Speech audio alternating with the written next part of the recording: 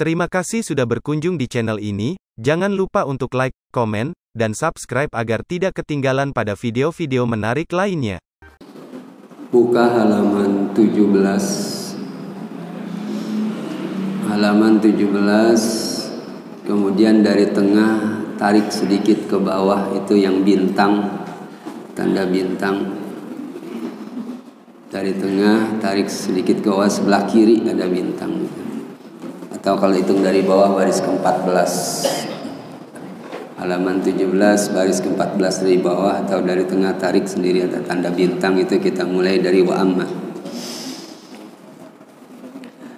Assalamualaikum warahmatullahi wabarakatuh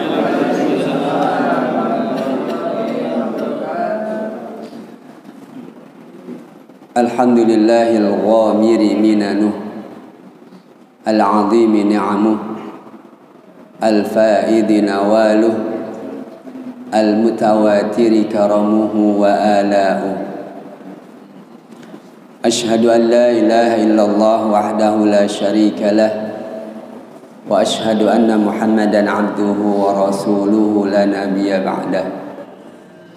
اللهم صل وسلم على شفيع الأمة سيدنا ومولانا محمد بن عبد الله وعلى آله وصحبه ومن تبع هداه ووالاه أما بعد hadirin hadirat rahimakumullah bil khusus pengurus segenap pengurus khususnya adalah Al Ustaz Al Haj Saiful Hidayat Al Ustaz Al Haj Mahfud para asatid, ustazat serta orang-orang tua kami yang kami muliakan. Pada pagi ini kembali Allah Subhanahu wa taala mempertemukan di masjid yang mulia ini setelah lama kita tidak berjumpa di forum ini. Alhamdulillah kita bersyukur kepada Allah atas segala nikmat yang Allah berikan kepada kita sehingga kita bisa bertemu kembali. Salawat serta salam semoga tetap terlimpah kehadirat junjungan kita Nabi besar Muhammad sallallahu alaihi wasallam. Hadirin hadirat rahimakumullah, baiklah kita akan kembali membicarakan kitab An-Nasaih Ad-Diniyah yang kita sekarang sudah memasuki halaman yang ke-17 lanjutan dari sebelum Ramadan. Ini ada tandanya di sini, yakni tadi pada baris ke-14 dari bawah atau dari tengah tarik ke kiri itu ada bintang. Kita mulai wa amma. Bismillahirrahmanirrahim. Qala Syekhul Muallif rahimahullah wa nafa'ana bihi wa bi'ulumihi fid dharain amin.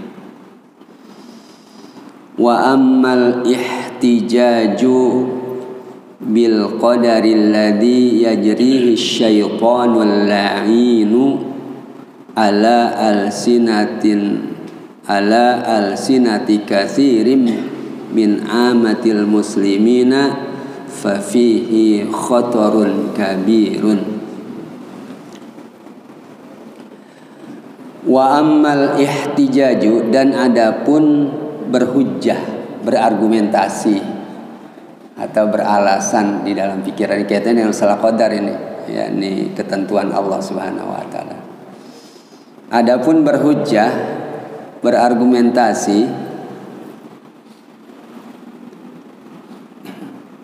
bil qadari dengan qadar takdir alladzi yajri syaitanu yang setan itu biasanya berjalan atau mengalir. Setan itu alainu yang terlaknat. Ala alsinati katsirin min amatil muslimin terhadap lidah sebahagian besar dari orang-orang Islam secara umum. Fafihi khotorun kabirun maka padanya di dalam ihtijaj tersebut ada khotorun kabirun, bahaya yang besar, kekhawatiran yang besar. kan banyak orang berhujah gitu ya.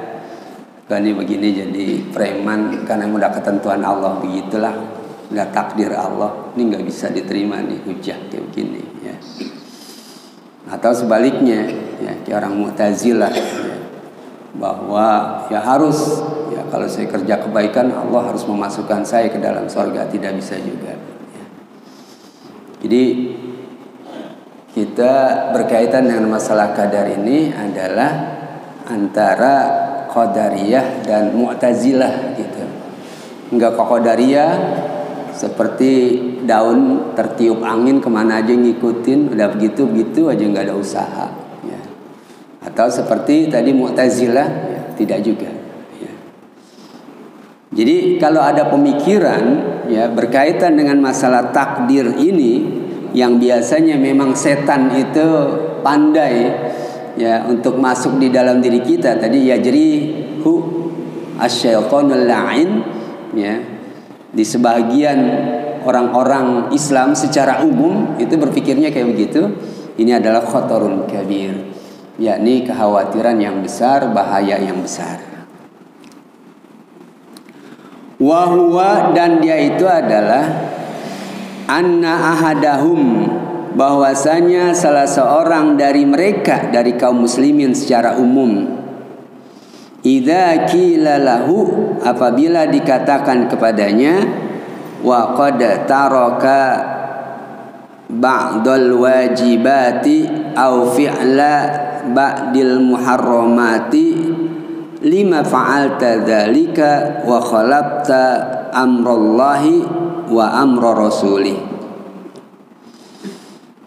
Jadi salah seorang di antara mereka kaum muslimin secara umum apabila dikatakan kepadanya dan sungguh dia telah meninggalkan sebahagian kewajiban atau mengerjakan sebagian hal-hal yang diharamkan Mengapa engkau kerjakan yang demikian itu dan kau bertentangan dengan apa yang diperintahkan oleh Allah dan Rasulnya? Fayaqulu maka dia menjawab fadzalika muqaddarun alayya wa maktubun wa muqtada yu'adziru bidzalika nafsahu. Maka jawabannya adalah yang demikian itu tadi saya meninggalkan kewajiban ya kemudian saya mengerjakan sebahagian dari hal-hal yang diharamkan itu karena memang Allah sudah menakdirkan kayak begitu ya. Kalau saya ini pemabuk, ya penzina, kemudian juga penjudi itu memang sudah ketentuan Allah kayak begitu, kata dia begitu. Atau termasuk dia melakukan sesuatu, itu muqaddarun alayya, sudah ditakdirkan, sudah ditentukan oleh Allah Subhanahu wa taala terhadap diriku, ya. Muqaddarun alayya sudah ditentukan yang demikian itu wa maktubun dan sudah tertulis.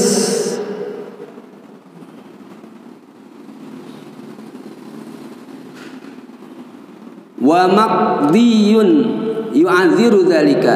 Dan itu memang sudah ketentuan yang pasti dan kepastian dan dia itu beralasan yang demikian itu nafsahu terhadap dirinya ya berhujah itu artinya ya.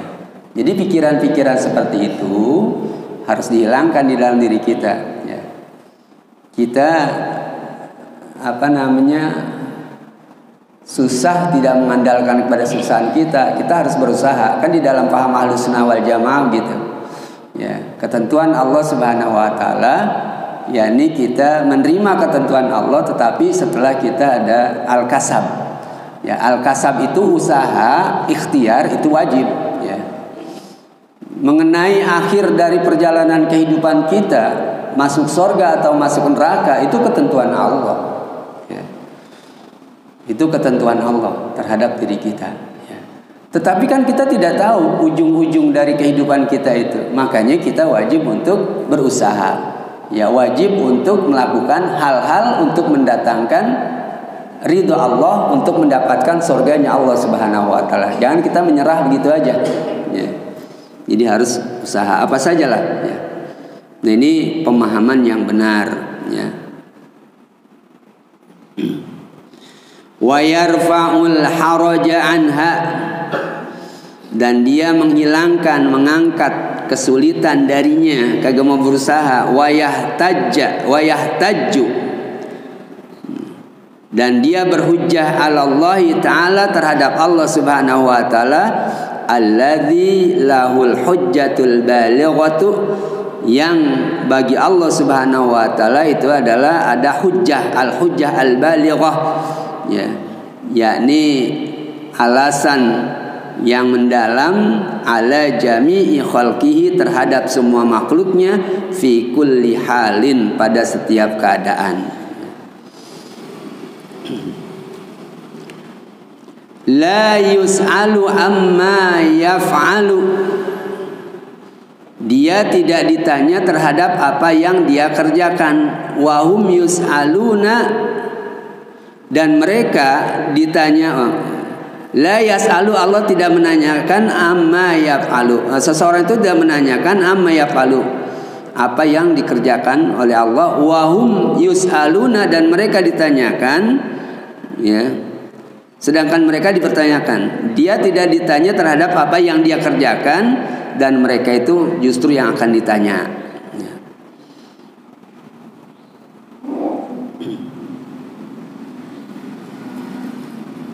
Wa aqulu maka aku katakan kata pengarang nih inna qaulal asi sesungguhnya ucapan orang yang maksiat ini tadi itu jawaban berhujah kayak begitu hadza inna qaulal asi hadza a'zamu min maksiatih itu lebih besar daripada perbuatan maksiatnya jadi perbuatan maksiat itu dosa, tetapi kemudian ya menganggap bahwasanya itu ketentuan Allah udah ditakdirkan oleh Allah lebih dosa lagi gitu. A'dhabu min maksiati. Ya.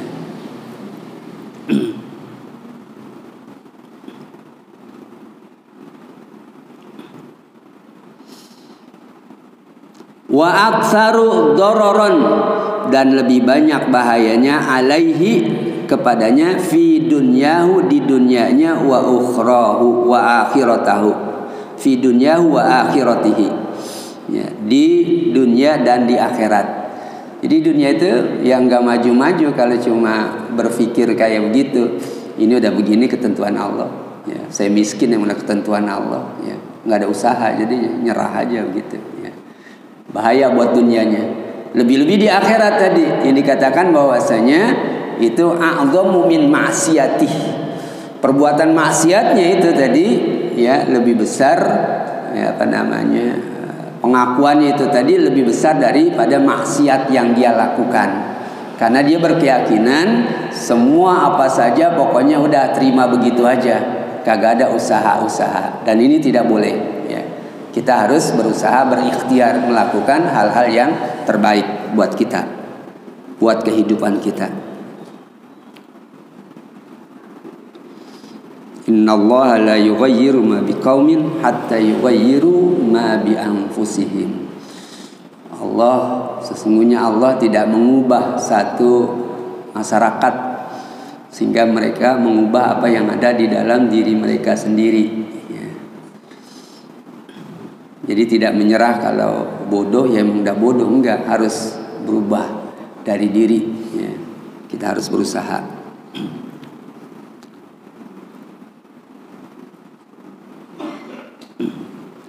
Li'annal makna karena sesungguhnya arti hadhil maqalah ucapan ini tadi berhujah dia mengatakan bahwasanya ini udah ketentuan Allah kayak begini saya udah dah ya. Karena arti pengertian ini ya dulu min sahibiha menunjukkan kepada orangnya yang mengatakan itu innahu sesungguhnya dia qalaha an i'tiqadi an i'tiqadin batin yakni dia ya berucap itu karena keyakinan di dalam batinnya dia yakin tuh takdir itu kayak begitu gitu kan takdir memang sudah ketentuan Allah tetapi kemudian kita dipersilahkan untuk berusaha gitu jangan menyerah begitu saja. Itu kalau dia keyakinannya kayak begitu, udah pokoknya uh, menyerah aja gitu kan. Ya inilah yang tadi a'dhamu min maksiati katanya. Itu sudah keyakinan dari dirinya, makanya itu lebih besar daripada maksiatnya. Ala tuzalzilu qawaidi dinihi min asliha. Ya. Yakni goncang rapuh qawaidi dinihi kaidah-kaidah aturan-aturan agamanya min asliha dari asalnya. Jadi asalnya enggak begitu memahami kodok dan kodar ya. Ini berarti menyalahi ya keyakinannya seperti itu. Famata yatubu hadal asi maka ketika kapan saja orang yang berbuat maksiat ini bertobat wa mata yandamu ala fi'lihil qabihi dan kapan saja dia menyesali terhadap perbuatan yang buruk ini wa mata yastaghfiru minhu dan kapan saja dia mohon ampun darinya wa huwa la yara lahu fi'lan dan dia tidak melihat baginya itu perbuatan wala yara dan dia tidak melihat annahu majbunun makhurun dia itu dipaksa, terpaksa. Laisa lahu ikhtiyarun tidak ada pilihan usaha wala qudratun dan kemampuan. Wahada dan inilah huwa adalah biainihi ya dan ini adalah biainihi dengan apa namanya ain itu ya bendanya madhabul jabariyah ini adalah ya madhab Jabariyah dari Qadariyah Jabariyah masuk. Ini adalah pendapat Jabariyah. Ada kelompok di dalam pecahan Islam itu ada Jabariyah, ada Mu'tazilah, ada Qadariyah, ada Syiah ya. Yang semuanya itu adalah mereka disebutkan dalam hadis min ahlin nar. Termasuk adalah ahli neraka ya dari 73 sataftariku ummati ila salatin wa sab'ina firqatan akan terpecah umatku menjadi 73 golongan ya. kemudian satu di dalam sorga selebihnya masuk ke dalam neraka itulah tadi kelompok-kelompok Mu'tazilah, Jabariyah, Khawarij apalagi itu banyaknya jadi hati-hati nih ya Jangan sampai kita keluar dari bingkai ahlu sunnah wal jamaah. Karena al fikroh an najiyah fikroh yang selamat yang akan masuk surga itu adalah fikroh yang ahlu sunnah wal jamaah. Ya, mengikuti sunnah Nabi kemudian mengikuti juga para sahabat. Apa yang sudah kita pahami lah selama ini jangan sampai keluar dari situ. Jangan nyebrang ke Syiah, pengaruh kita jadi Syiah. Jangan nyebrang ke Mu'tazilah atau ke yang sering menyalahkan orang bahkan menghalalkan darah saudaranya kaum muslimin. Ya.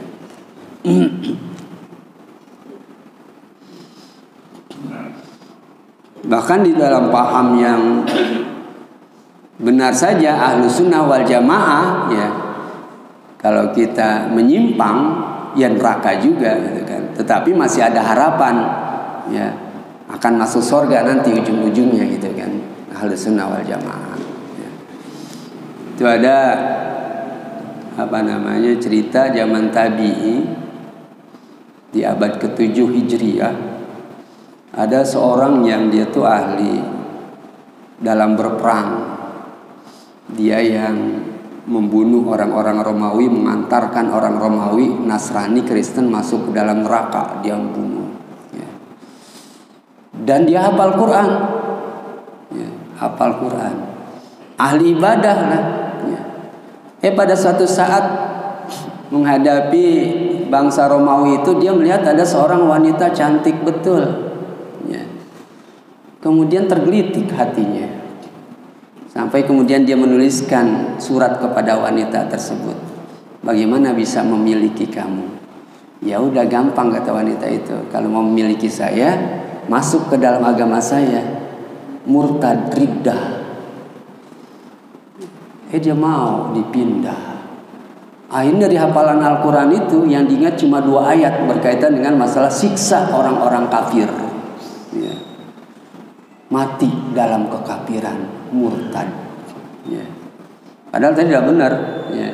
ahli jihad luar biasa ini yang kita khawatirkan ya.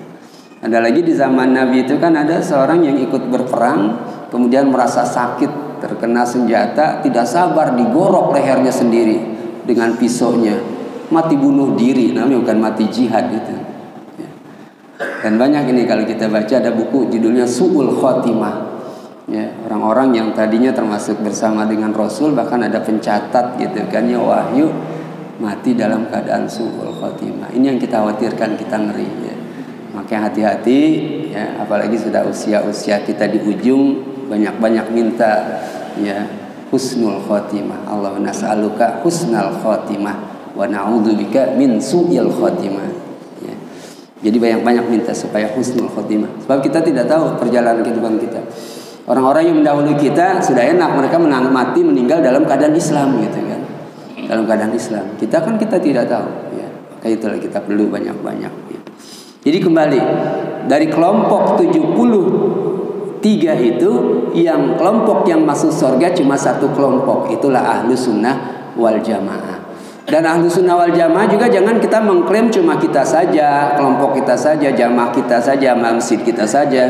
Ya kebangetan lega tuh surga kalau buat kita aja gitu kan. Jadi banyak ahlu sunnah wal jamaah itu. Di berbagai negara juga banyak. ya. Jangan kita cuma mengklaim menyatakan diri kita saja yang pasti adalah kata Nabi ma'ana alaihi washabi. Orang yang ada uh, apa di atasku dan juga para sahabat ya. Jadi orang yang mengikuti aku dan mengikuti sahabat ya. Itu adalah ahlu sunnah wal jamaah ya. Kemudian mengenai praktek ritual apa yang kita lakukan itu termasuk adalah dari bagian ahlu sunnah wal jamaah. Dan di luar itu jangan kita klaim juga orang bukan ahli sunnah jamaah. Berarti kalau kita nyatakan bukan ahli sunnah jamaah, dia termasuk adalah min ahli nar. Ya, termasuk adalah ahli neraka. Jangan. Ya. Kita di Indonesia itu kan ada organisasi Nahdlatul Ulama, ada Muhammadiyah, ada Versis, ada Al-Wasliyah, ya. Atau kelompok organisasi orang-orang tua kita tuh dari dulu, ya. Al-Wasliyah, kemudian ada Al-Irsyad, ya itu organisasi semuanya sunnah wal jamaah gitu. Ya. semuanya sunnah wal jamaah. Ini kan kalau dulu saya ingat masih kecil itu selain NU bukan ahlu sunnah wal jamaah. Kacau kalau kita berpikir kayak begitu. Ya. Sayang banget kita ya. Menyatakan ya berarti Muhammadiyah Persis Al Irsad Al Wasliyah berarti tidak selamat. Cuma kita aja yang selamat. Enggak jadi bukan dimiliki oleh sekelompok orang jamaah saja, tetapi adalah dimiliki juga oleh yang lain. Sekalipun teknis ibadahnya itu agak berbeda, tetapi kemudian ya akidahnya itu adalah sama. Kalau si kan akidahnya beda. Ya rukun iman juga ada tambahan dia. Ya. Al-Quran juga dia cuma sementara mengakui Al-Quran yang sekarang. Dia punya Al-Quran nanti katanya dibawa oleh imamnya. Ini kan kagak benar paham seperti ini ya. Baik ya, kita kembali ya melihat pada saat tadi bahwasanya dia bertobat kemudian dia melihat bahwasanya dirinya itu dipaksa bukan tidak ada pilihan wa hadha wa bi'ainihi madhabul jabbariyah wahum firqatun minal mubtadi'in. Fid dini mereka adalah firqah kelompok-kelompok minal mubtadi'in. Dari orang-orang yang suka melaksanakan bid'ah. Fid dini di dalam agama. Wa yaquluna dan mereka mengatakan ya biadamil ikhtiar. Ya, tidak ada pilihan. Ya Udah begitu ya begitu, nggak ada pilihan. Ini kelompok mutadiin namanya. Tapi bukan mutadiin yang sering kita disebutkan bid'ah, bukan. Ya. Bid'ah, dikit-dikit bid'ah gitu kan ya, bukan seperti itu, ya. Yang nam bid'ah itu kan apa namanya? Muhdas, sesuatu hal yang baru yang tidak dilakukan oleh Rasul. Ya yang tidak dilakukan oleh Rasul itu nabi bid'ah mengada-ngada membuat suatu hal yang tidak ada contohnya kita kan semua ada contohnya ya Dalam arti bahwasanya memahami Islam itu secara komprehensif mendalam. Jangan kemudian yang secara terlihat aja gitu kan apa saja yang Nabi tidak laksanakan itu adalah bid'ah. Ya banyak banget kita. Ini ya saudara kita yang sering kita sayangkan dan kita tidak mengeluarkan mereka dari ahlu sunnah ya. Ahlu sunnah juga mereka. Ya. Wahabi, Salafi itu ahlu sunnah. Ya. Ahlu sunnah. Itu kan tidak mungkin Allah menyerahkan Ka'bah Baitullah Mekah dan Madinah kepada orang-orang yang memang mereka itu bukan dari kelompok ahlu sunnah wal jamaah tidak mungkin ya. jadi walaupun tingkah laku mereka menyerang kita ya biarin aja tapi jangan kemudian kita menyatakan mereka bukan ahlu sunnah wal jamaah ya. Baik ya.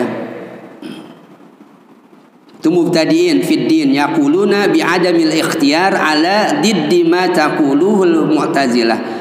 Berbeda dengan apa yang diucapkan oleh Mu'tazilah. Wahum firqatun ukhra mereka juga termasuk kelompok yang lain min ahlil bid'ah dari ahli bid'ah. Ya. karena mereka itu apa namanya memastikan ya atau bahkan mewajibkan memaksa Allah ya untuk bagaimana memasukkan mereka ke dalam surga karena mereka sudah melakukan kebaikan ya tidak bisa ya. atau termasuk adalah apa namanya ada paham mereka itu yang berbeda sekali dengan ahli sunnah wal jamaah ya karena mereka mengandalkan otak pemikiran mereka lebih kepada otak pemikiran ya tidak menyerahkan kepada Al-Quran dan As-Sunnah ya.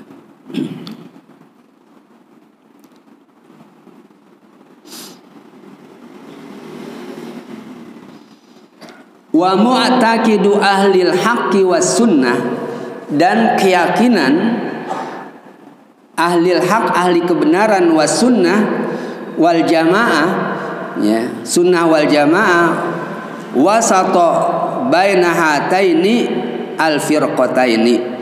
Itu ada di antara ya dua pendapat yang berbeda tersebut Jabariyah dan Mu'tazilah kalau Jabariyah itu menyerah, kalau Mu'tazilah itu memaksakan gitu kan. Wa huwa kama qala ba'dul ulama dan dia itu sebagaimana dikemukakan oleh sebagian ulama kharij kharijun min baini farsin wadamin yakni keluar dari fars itu kotoran ya wadamin dan darah labanan yakni susu khalison yang murni sa'iran lisyaribin yang enak untuk diminum.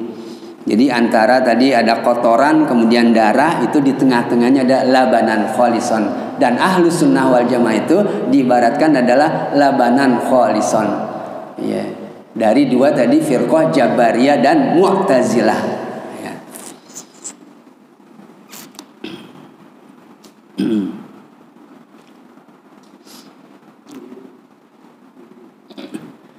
wa mu'taqidu ahli sunnah dan dan akidah ahli sunnah ja'alanallahu minhum. Mudah-mudahan Allah menjadikan kita dari kalangan ahli sunnah al jamaah. Ini selingan doa jumlah doa ya namanya. Annahu ya bahwasanya ahli sunnah wal jamaah itu adalah ya la yakunu kainun sawirun wala kabirun illa biqada'illahi wa masyiatihi wa iradatihi wa qudratihi. Menurut pandangan Ahlussunnah wal Jamaah, ya, mudah-mudahan Allah menjadikan kita termasuk golongan Ahlussunnah wal Jamaah, tidaklah yang ada baik yang kecil ataupun yang besar kecuali adalah sudah berdasarkan ketentuan Allah Subhanahu wa taala, kehendak Allah, iradat Allah dan juga kudrat Allah, kemampuan Allah. Wa annal ibadah dan hanya saja hamba itu wa af'alahu dan perbuatan hamba itu ya khairaha wa syarraha ya, baik dan buruknya khalqullahi taala adalah makhluk Allah Subhanahu wa taala. Itu yang diyakini ya bahwa keyakinannya itu yang ada semua yang besar yang kecil sudah berdasarkan ketentuan kehendak keinginan Allah Subhanahu wa taala. Kita sebagai hamba ya itu meyakini bahwasanya perbuatan yang buruk yang baik adalah makhluk Allah itu semuanya. Tumma ba'da dzalika kemudian setelah itu ya yutalabuna atau yutalibuna anfusahum. Mereka meminta diri mereka sendiri ini ini al zaman nih diri kita ya. Setelah kita yakini bahwasanya semua yang besar yang kecil ya baik atau buruk adalah ketentuan Allah Subhanahu wa taala makhluk Allah Subhanahu wa taala.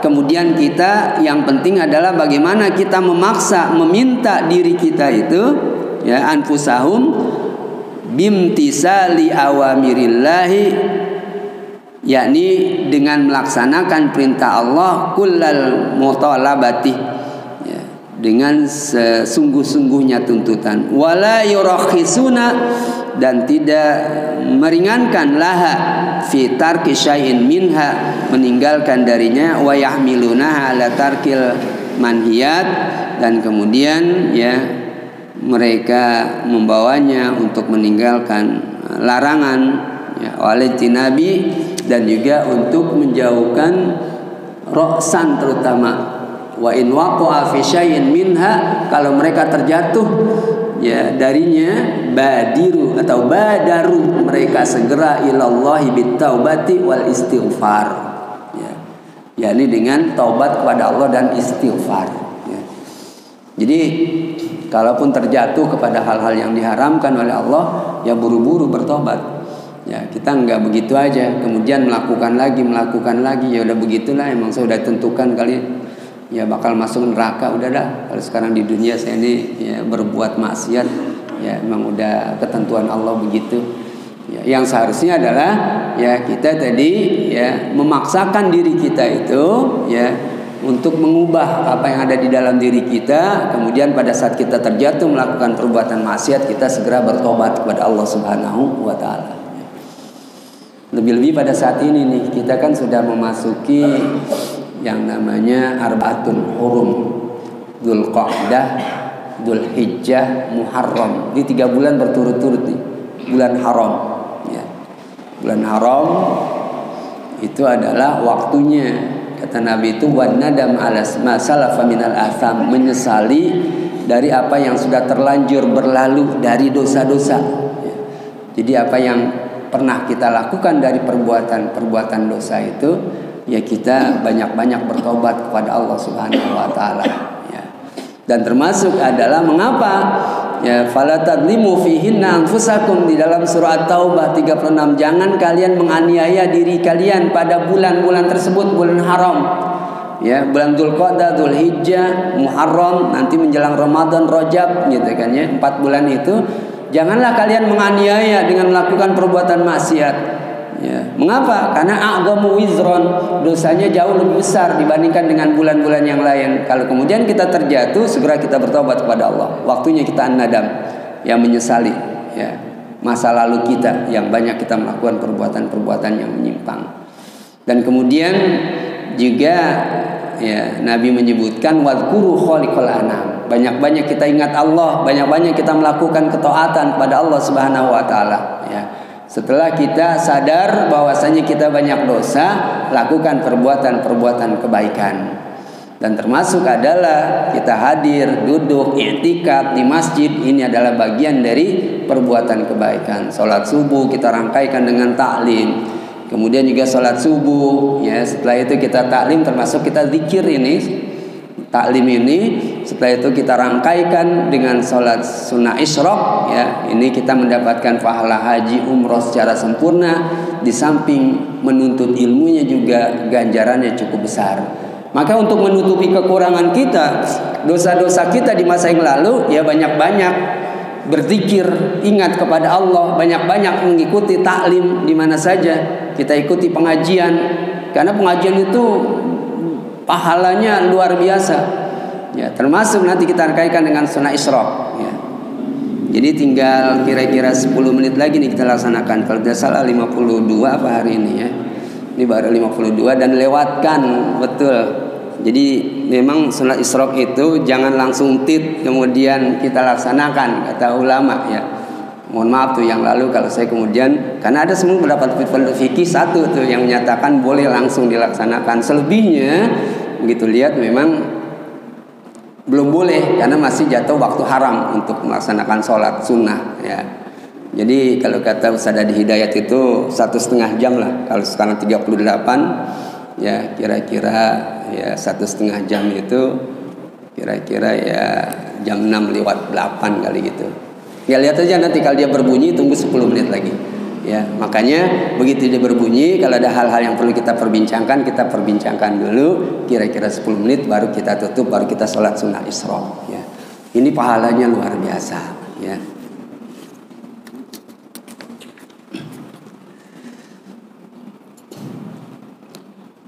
Wal istighfar wa in faratu fi syai'in kalau dia melalaikan terhadap sesuatu minal awamiri dari hal-hal yang diperintahkan badaru biqadaihi. Maka mereka segera untuk mengkodoknya wa tabu ilallahi dan dia bertobat mintarkihi karena meninggalkannya. Jadi kalau dia melalaikan satu hal yang sifatnya perintah Allah Subhanahu wa taala dan wajib terutama mereka segera untuk mengkodok menggantinya. Ya. atau termasuk kalau kita meninggalkan hal-hal yang sifatnya ya perintah walaupun sunnah gitu. Paling tidak kan kita melalaikan waktu kita kesempatan kita. Ya kita banyak-banyak kembali tadi bertobat kepada Allah Subhanahu wa taala wala yahtajuna li abada. Dan tidak mereka berhujjah untuk diri mereka terhadap Allah selama-lamanya. Wala yu'adziru dan jangan beralasan. Wala yu'adzirunaha jangan beralasan.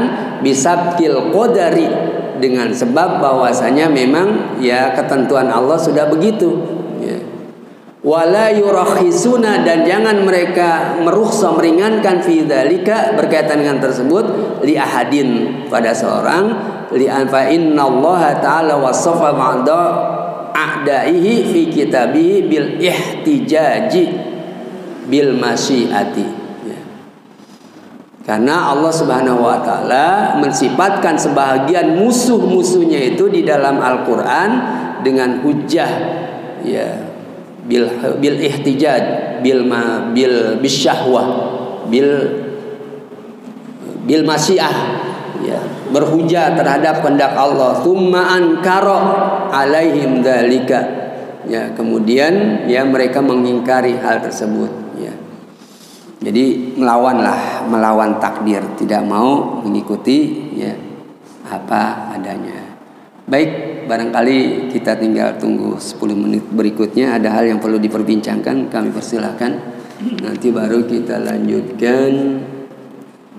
Yakni wa wa alaihi dan Allah menghinakan mereka. Karena berhujah seperti itu tadi. Wa alaihi. Wa wa wa, wa bakhahum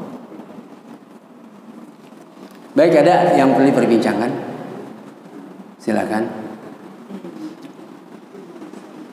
Tidak ada. Ya silakan.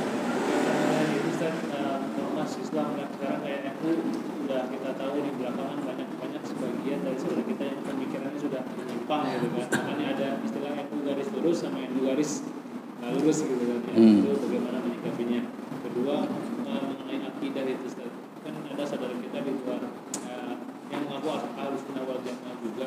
Tapi dari segi pemahaman akidahnya uh, memahami tauhid Allah itu berbeda dengan kita. Kalau kita kan biasa dikenal dari dulu wujud kita bakal dan sebagainya. Dengan mereka memahami itu dengan sifat tiga itu iya.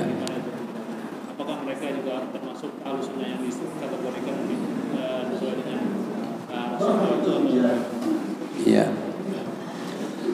Pertama adalah kita tahu bahwasanya Nahdlatul Ulama itu adalah dari namanya Nahdlah. Nahdlah itu bangkit. Nahdlatul Ulama kebangkitan ulama. Dan mereka adalah kumpulan ulama.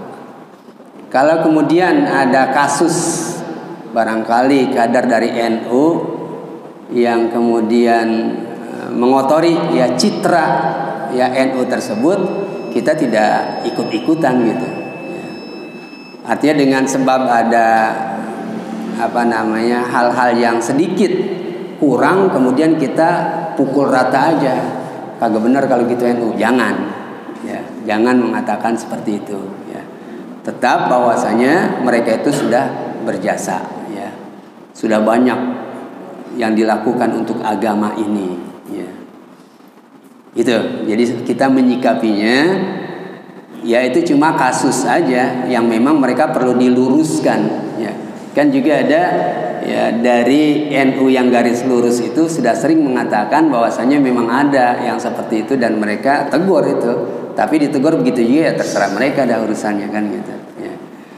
Tegur. Tapi jangan kemudian kita mengambil mengeneralisasi mengambil apa namanya secara umum bahwa saya kalau gitu NU udah rusak jangan. Enggak ya. Jadi masih ada yang hanif yang lurus-lurus masih banyak ya. Yang lurus orang tua-tua kita itu masih banyak ya. Kemudian yang kedua bahwa kaitannya dengan masalah akidah. Ini kita biasakan akidatul awam itu atau sifat 20 gitu kan. Itu memang akidah yang kita pahami ya tetapi kemudian ada tetangga sebelah kita itu yang sering ya bahwasanya uh, mengatakan bahwasanya itu adalah tidak ada tuh sebutkan mereka benci sekali terhadap kelompok As'ariyah ya Al-Maturidiyah ya Hah? Iya, mereka tidak mau tuh, ya. Jadi bahkan mereka menyalahkan gitu, ya. Membid'ahkan termasuk itu wujud kidam bako itu membid'ah. Kagak ada dibatas-batasi seperti itu, ya. Yang mereka lakukan adalah yakni dengan trilogi dalam dakwah mereka. Yang sebenarnya juga buatan mereka juga sih ya. Tauhid rububiyah tauhid uluhiyah tauhid asma wa sifat ya. Itu sebenarnya tidak ada masalah sih istilah-istilah itu ya. Saya mengajar eh, buku mereka tuh saya ambil enak sih penyajiannya sistematis tapi nggak kemudian untuk menyalahkan orang gitu mengkafirkan orang atau membid'ahkan orang tidak ya. Oke selain dari apa yang mereka lakukan kan mereka begitu udah salah aja nggak bisa ya. Nah bagaimana mereka apakah termasuk ya dalam ahlu sunnah wal jamaah mereka mengaku ahlu sunnah wal jamaah. Dan tadi yang saya sebutkan bahwasanya jangan kita menyatakan bahwasanya mereka itu bukan ahlu sunnah wal jamaah karena kalau kita menyatakan mereka bukan ahlu sunnah wal jamaah kita pergi haji kita umroh dan mereka itu adalah yang menguasai Saudi Wahabi itu menguasai Saudi anak buahnya di Indonesia Salafi namanya yang muda-muda ya jadi Ya kalau kemudian kita berpemahaman bahwasanya mereka salah, sesat, ya. Itu kita sholat di belakang mereka kagak sah. Ya. Karena kita menyatakan mereka itu sesat. Ya. Jadi kalau itu ya kita sesat. Dan juga memang bukan wewenang kita untuk menyesatkan gitu. Karena mereka masih mengikuti Nabi dan para sahabat. Kalau ngambil garis secara umum tadi, ana wa ashabi gitu kan. Jadi kata Nabi pada saat nanti kalian melihat ada banyak perpecahan, perbedaan pendapat, maka ya berpegang teguhlah kepada sunnahku dan sunnah khulafa rasyidin. Ya, mereka mengikuti khulafa rasyidin. Jadi begitu. Ya. Cuma memang mereka kebangetan keras gitu kan dalam berdakwah sehingga untuk orang Indonesia mah udah tabrak tabrak sini akhirnya. Ya. Kita jadi tidak simpati terhadap mereka. Tapi kita tidak boleh mengklaim kalau masalah perbedaan sih dari dulu NU dengan Muhammadiyah juga beda. Ya. Beda dari segi ibadah, apalagi dengan Persis beda ya. Tapi kita bisa damai. Biasa-biasa aja gitu kan. Walau dulu bertentangan memang cukup tajam tapi kemudian sekarang lama-lama ya reda lah ya. Nah, ini yang artinya ya biarlah mereka itu seperti itu tetapi kita menyikapinya itu ya dengan yang sudah kita pahami, yang kita pelajari kaitannya dengan masalah ya sifat 20 ya itu kemudian terus kita dalami dan kita kaji kaji lagi kita baca lagi berkaitan hal tersebut dan kita tidak menyatakan mereka itu bukan ahli sunnah wal jamaah. Walaupun barangkali sebagian yang saya ucapkan ini ada orang yang tidak setuju ya. Bahkan barangkali adalah termasuk ya tokoh-tokoh kita tidak setuju. Kalau saya menganggapnya gitu ya terserah sih. Saya menganggapnya tetap mereka ahli sunnah wal jamaah. Walaupun kelakuan mereka seperti itu ya. karena tadi saya katakan ya kalau kita haji umroh itu kita tidak sah berarti ya atau kalau kita menyatakan itu berarti masa Allah menyerahkan haramain Mekah dan Madinah kepada orang-orang yang sesat gitu kan mereka juga kan ya, ahli Al-Quran jadi beginilah kesimpulannya ya di bagian akhir kehidupan banyak orang-orang tua kita dari kalangan kita Nahdien yang mati kita lihat sendiri dalam keadaan husnul khotimah. Ya. Jadi matinya dengan saling menyebutkan la ilaha illallah, ada yang sedang sholat, ada yang sedang ini menandakan bahwa saya paham kita benar, ya. Dan mereka juga begitu juga, kematian mereka juga banyak yang begitu gitu kan. Kelompok Muhammadiyah juga banyak yang kematiannya itu baik-baik. Berarti kan benar semua kalau begini, gitu kan ya. Lihat bagian kesimpulan dah, bagian akhir kehidupan. Kematiannya baik, banyak dari kelompok itu yang kematiannya baik, ya. Di bagian kematian akhir dah, sehingga kita tidak saling menyalahkan, ya. Ini barangkali yang perlu kita sikapi. Baik, ya itu barangkali yang bisa kita perbincangkan. Mudah-mudahan ada manfaatnya. Aku qauli hadza wastaghfirullahaladzim li wa lakum wa muslimin wal muslimat fastaghfiru innahu wal ghafurur rahim. Al-Fatihah.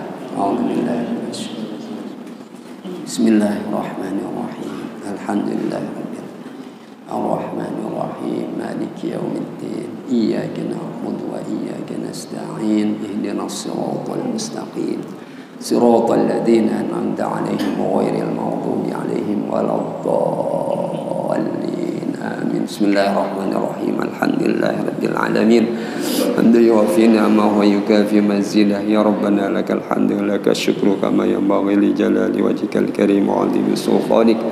اللهم صل وسلم على سيدنا محمد وعلى سيدنا محمد اللهم صل وسلم على سيدنا محمد صاحب القرآن صلاة وسلاما تحفنا بالغفران اللهم صل وسلم على سيدنا محمد صاحب المعجزات صلاة وسلاما تجعلنا مقيم الصلوات اللهم صل وسلم على سيدنا محمد سيد السادات صلاة وسلاما Allahumma salli wa sallim ala sayyidina Muhammadin sayyidi sadat salatu wassalam taqdilana jami'al hajat Allahumma salli wa sallim ala sayyidina Muhammadin di makarimil akhlaq salatu wassalam anta tawallana abdu abal arzaq. Allahumma salli wa sallim ala sayyidina Muhammadin ala marid duhur salatu wassalam antusahilulana ya Allah jami'al umur. Allahumma salli wa sallim ala sayyidina Muhammadin sayyidil anam. Salatu wa salaman tu'afina min jamil asqam. Allahumma salli wa sallim ala sayyidina Muhammadin sayyidil thaqalain. Salatu wa salaman tusahilu lana ya Allah. Ziyaratal haramain. مكة المكرمة والمدينة المنورة ثم العودة والعودة والعودة إلى الحرمين برحمتك يا أرحم الراحمين. اللهم اجعله حجا مبرورا وسعيا مشكورا وذنبا مغفورا وأمل مقبولا وتجارة لن تبر يا ألم ما في الصدور أخرجنا من الظلمات إلى النور. اللهم صل وسلم على سيدنا محمد نبي رحمة صلاة وسلام تجعلنا حسن الخاتمة. واختم لنا يا الله بحسن الخاتمة ولا تختم لنا su'il khatimah. Allahumma ij'al indantihai ajalina qawla la ilaha illallah Muhammadur Rasulullah wa anta radin anna ya Allah ya Rabbal Alamin. Allahumma salli wa sallim ala sayyidina Muhammadin sayyidil mursalin. Salatu wa salaman tudakhiduna fi ibadikas salihin Rabbana la tuzigh qulubana ba'da idh hadaytana wa hab lana min ladunka rahmah innaka antal wahhab. Rabbana hab lana min azwajina wa dhurriyyatina qurrata a'yun waj'alna lil muttaqina imama. Rabbana taqabbal minna innaka antas samiul العليم وتب علينا إنك أنت التواب الرحيم. ربنا آتنا في الدنيا حسنة في الآخرة حسنة وقنا عذاب النار. صلى الله على سيدنا محمد وعلى آله وصحبه وسلم والحمد لله رب العالمين. والسلام عليكم ورحمة الله وبركاته.